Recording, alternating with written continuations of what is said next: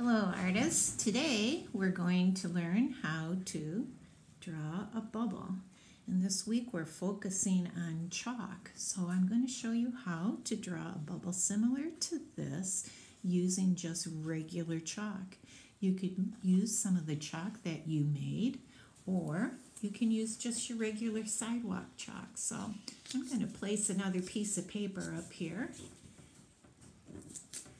And you're going to draw a circle. We have all kinds of things to help us draw circles. You can use a lid.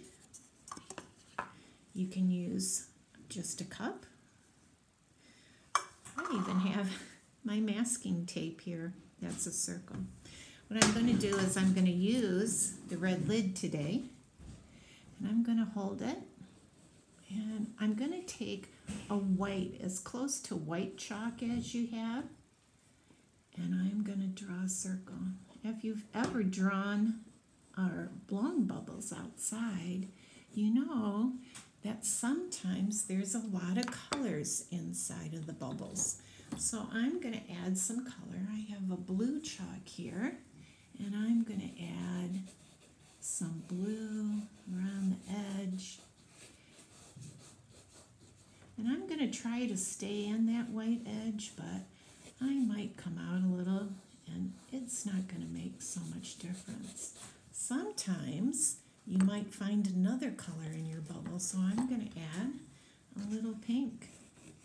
And I am pushing down a little hard because I want some chalk on there because I'm going to do a little blending in a minute.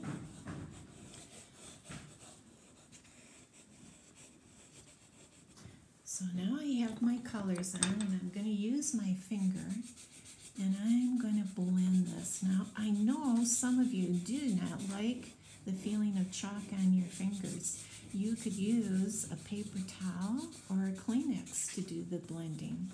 You can see what that does because the chalk is so nice and soft. It kind of gives this really delicate blending. So now I have have my my in there and I'm going to come back with the white and I'm just going to tighten up my edge a little with my white chalk. You can see my chalk kind of went outside of my line, but I can come over with this and just kind of make my circle a little more defined.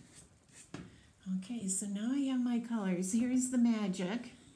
As you put your little bubble reflection in there. And I'm just going to blend that just a bit. And now I have my bubble.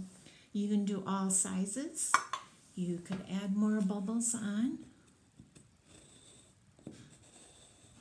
Okay, over and over and over because boy do we like those bubbles. So have some fun, play around with your colors, make some bubbles. See you later. Bye.